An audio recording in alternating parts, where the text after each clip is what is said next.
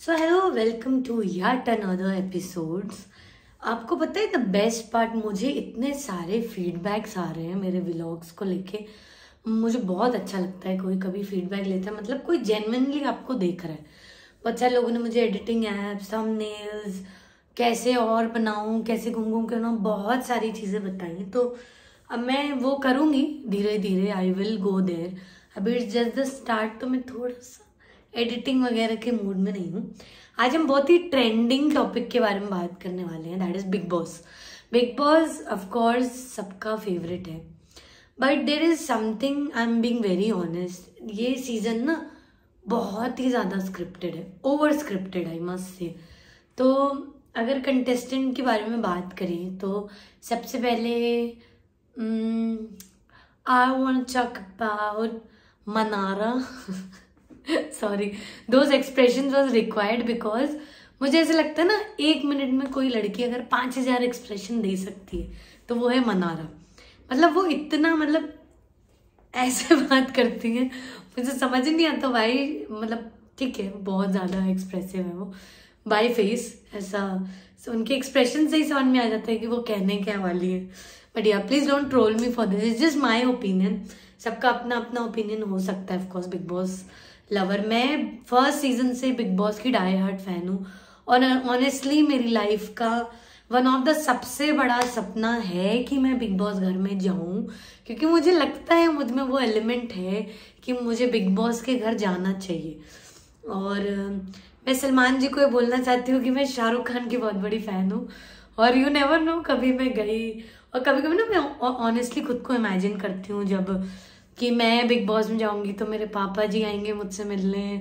मैं बहुत अलग लेवल पे चली जाती हूँ when it comes to Bigg Boss but एक टाइम था, एक क्रेज था बिग बॉस का, जो अब साइमटेनियसली बहुत कम हो गया है। बिकॉज़ पहले ना एक नेचुरल चीज़ें हुआ करती थी बिग बॉस को लेके। बट अभी ना इट्स ऑल अबाउट स्क्रिप्ट्स उनको पता है कि यार झगड़ा करने से टीआरपी मिलेगी, या थोड़ा लव लैंग एंगल ट्राइंगल कुछ भी ले आओ। उससे हमको टीआरपी मिलेगी। तो ऐसा नहीं होता है। आई थिंक आप जितना नेचुरल रहते हो जैसे Shehnaaz ji Shehnaaz oh my God वो वो जो पर्सनैलिटी है ना उसको बोलते हैं पर्सनैलिटी इतनी बबली जॉली बहुत कुछ था उनकी पर्सनैलिटी में। आ, और फिर देखो अभी जैसे मुना आ, मुनावर वाला इंसिडेंट हुआ था जिसमें ईशा को अच्छी खासी डांट लगाई करण जौहर ने। बट ठीक है रिक्वायर्ड भी है यार इतनी माचिस की तीली है हमारी ईशा कि मतलब उसको सब जगह ना मुद्दा मुद्दा मुद्दा बोलते हैं। सब जगह उसको सिर्फ़ मुद्दा ढूंढ के झगड़े कर, करवाने होते हैं। और उसके बाद हाँ ठीक है मैं तो फीडबैक्स नहीं लेने वाली। I think being a senior personality अगर कोई आपको फीडबैक दे रहा है सारा नहीं बट एटलीस्ट कुछ तो आपको ले लेना चाहिए बिकॉज़ यार वो भी देख रहे हैं, वो भी एज अ ऑडियंस आपको देख रहे हैं तो यस जब बोलते हैं ना, खुद के घर शीशे के हो तो दूसरों के घर पे पत्थर नहीं मारते तो यस खुद की लव लाइफ इतनी फकडअप है एंड देन या देन समझ के लिए मुझे बहुत बुरा लगता है यार, मेरे को ऐसा लगता है बेचारा इज़ लाइक पपेट ईशा का वो सट से उसको डांट देती है, और मतलब मेरे को लगता है उसकी इज़्ज़त ही नहीं करती to be very honest and regarding Abhishek तो he has got some serious problem in here because एक चीज़ मुझे बिल्कुल अच्छी नहीं लगी विद अभिषेक इज़ जब उनकी मॉम आई थी तो मेरे को लगता था उसकी मॉम उसको बहुत बढ़ावा देती है।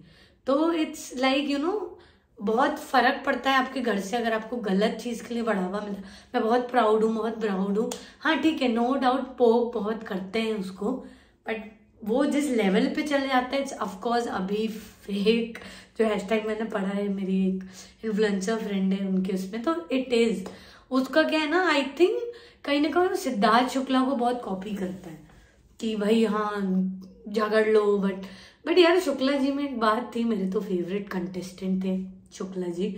एंड रिगार्डिंग आयशा और मुनावर तो भाई, या तो बुराई कर लो, या झगड़ लो, या प्यार कर लो, या कनेक्शन दिखा लो, या डिसाइड कर लो.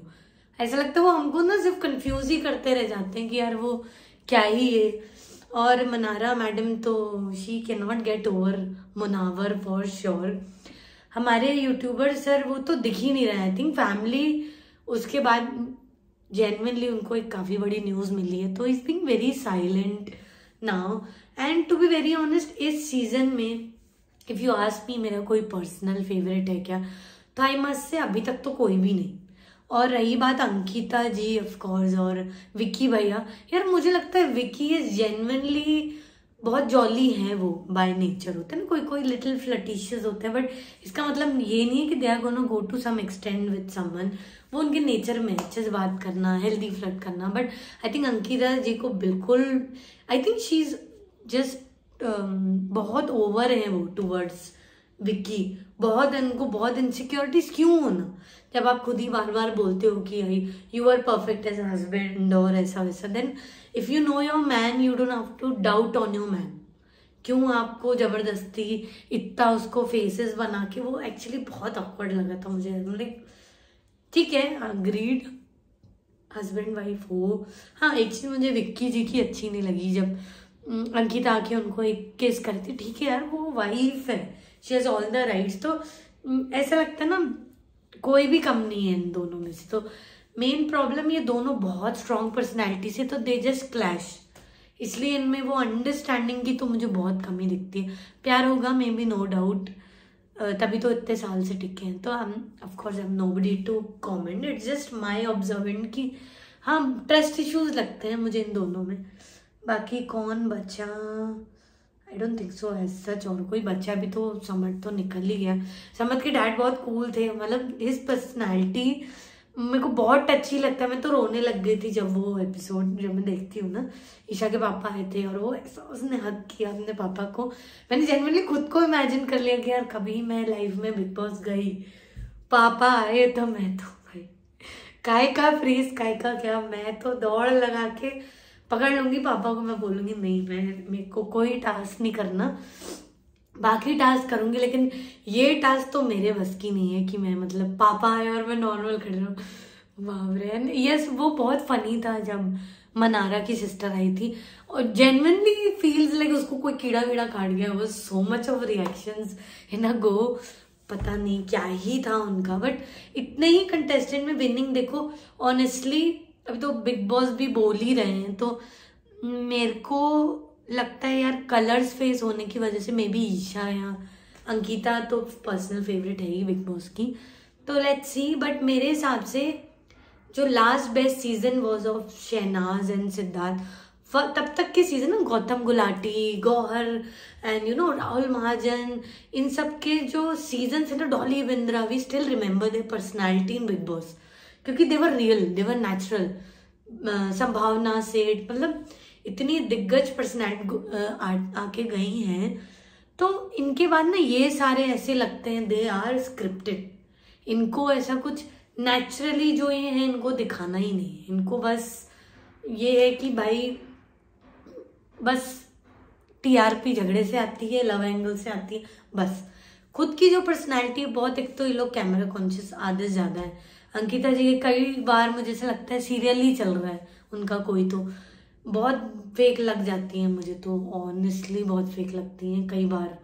ठीक है, अच्छी भी हो सकती है वो नो डाउट उनका वो स्टैंड मुझे बहुत अच्छा लगा था जब उनकी सासू माँ बोल रही थी कि यार वो बोले कि, जब उन्होंने बोला ना, आपको जो भी बोलना मुझे बोली मेरे मोम डैड को नहीं। विच इज़ करेक्ट लड़की की गलती, आप लड़की को बोलो ना मोम डैड तक जाने वाली तो कोई बात ही। नहीं तो मेरे हिसाब से तो बिग बॉस आई दर अंकिता या ईशा जीतेगी। So let me know in the comments आपको क्या लगता है ये सीज़न बिग बॉस का कौन जीतेगा। So like comment share subscribe and I see you all in the next episode till then bye